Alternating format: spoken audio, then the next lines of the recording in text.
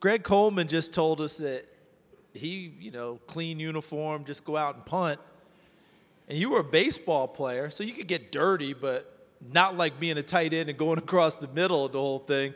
Yet you end up gravitating back towards football. What led you back to football instead of just continuing on the path with baseball? Well, Charles, before I answer that, if you don't mind, I'd like to honor some of the people that are here that helped me uh, make that decision. Uh, some of my baseball players that you saw in the photo, they were there. Some of my football players, like Lance Pillars and Augusta Lee, they're here.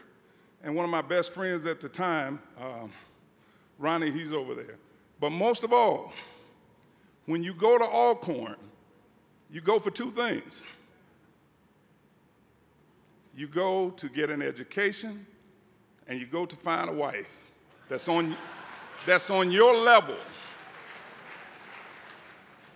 And I would like to say, Atlanta, Georgia, take a look at my family over there.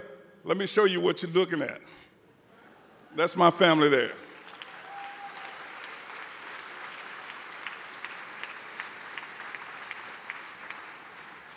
The folks in the back helped me make that decision.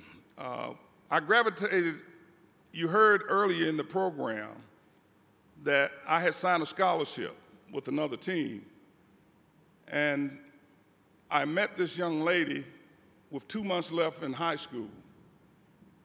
And man, she was the light of my eye.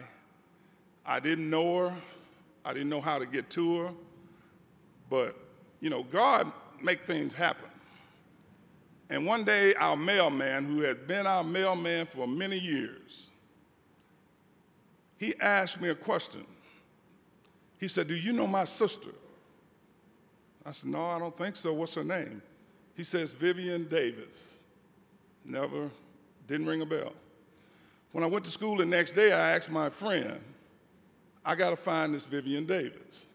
And lo and behold, it was the lady that I had my eye on for the entire year, could and could not get a, enough energy to go and speak with her, but that gave me the impetus to do that. So, so what I gathered out of all that,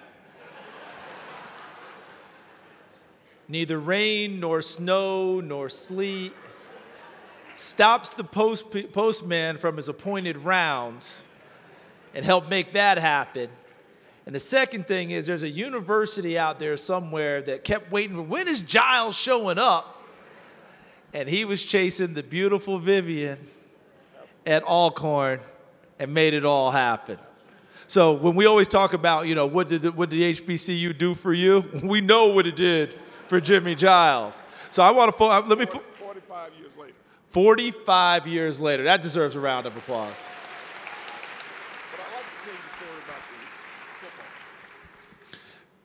He's going to give us a quick one here about the football, and then I'm going to ask him one more question. And then I, you know, I was going to come over and sit next to you, Jimmie, but here we go. See, Greg and I can take up all the time. He just didn't give him enough time. Alcorn and Grambling State University were the first colleges period, to play in the Louisiana Superdome. That was the only thing that motivated me to play co college football. I had no desire. I had promised my father and mother that I was going to school to get an education and was going to law school. Of course, they were disappointed when I got drafted in football, but they came around. They came around. But that was the only thing. And during my tenure in playing college football, I had a chance to meet a guy that became one of my lifelong friends, number 12 from Grambling State University. And he's my quarterback. In spite of anybody saying anything, he's my quarterback, Doug Williams.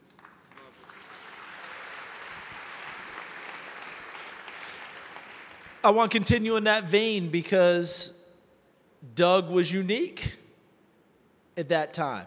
Shack had been through, there hadn't been very many. We were changing positions with Marlin the Magician Briscoe. We weren't letting guys do this. But now you had that quarterback who was your guy from an HBCU, and you two were lethal out on the field. You were you were really wide receiver one, even though you were playing tight end. Can you give us a sense of what it was like? Because I sure I'm sure a lot of your communication was unspoken in making some of those great plays. See, it takes somebody to have that foresight to understand that. And that was what we had when we were on the football field. We had this telepathic thing going between us. I knew when he needed help. You know, the coaches would call all these plays and they weren't working. I'm just telling the truth and I can't help it. But Doug Williams was an all star. And when he knew it was time to win a football game, he let all the rules go out the door. He would call a play, and he would look at me, look my way, and say, Homeboy. I knew what that meant get open.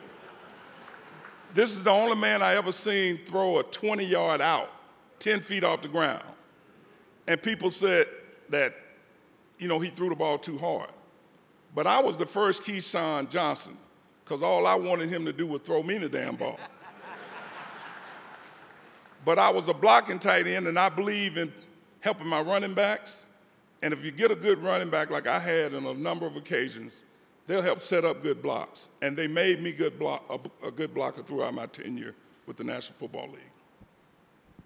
Well, not just a good blocker, a tremendous receiver, all around guy, and one of the smartest people in the room because he went to Alcorn State for the right reasons. Figured out, ladies and gentlemen, Hall of Famer Jimmie Giles. Thank you, Thank you, brother. Feel better, okay?